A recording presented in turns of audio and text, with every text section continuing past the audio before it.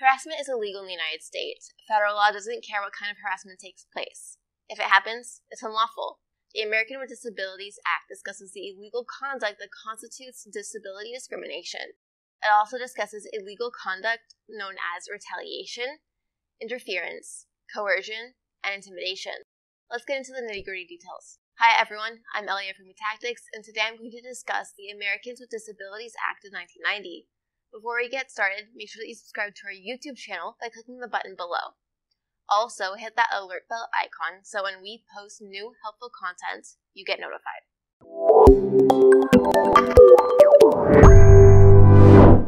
No covered entity shall discriminate against a qualified person based on disability.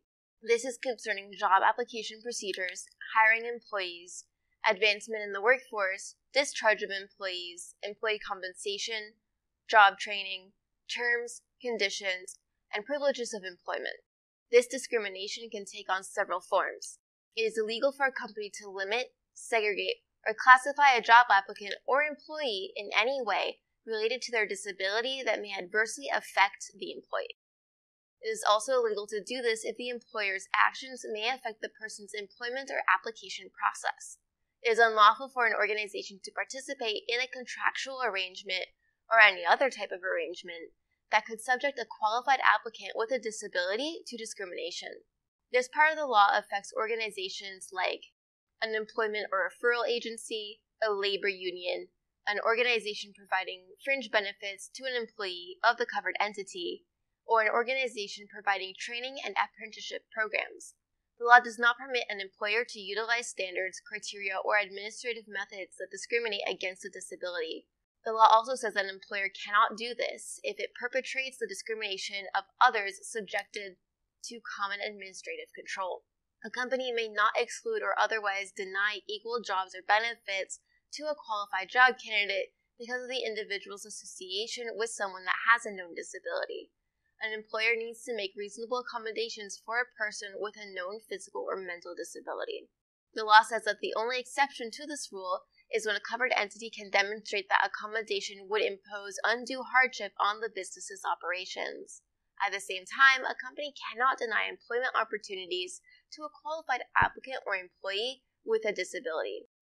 The law says that this denial is illegal if it happened because of the individual's need for accommodation.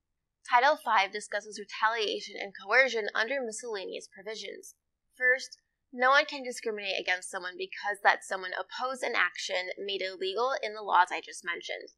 No one can take action because someone made a charge, testified, assisted, or participated in any way in an investigation, proceeding, and hearing.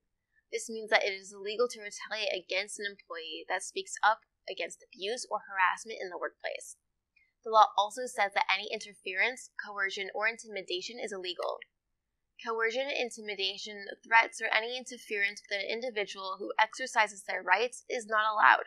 In a nutshell, harassment is any unwelcome conduct concerning a person's race, color, religion, sex, including sexual orientation, gender identity, and pregnancy status, national origin, older age, beginning at the age of 40, disability, and genetic information, including family medical history.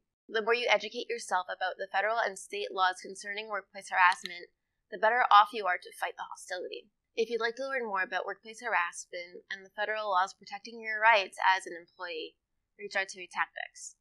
And you've already made it this far into the video, so you might as well like it, share it, and comment below.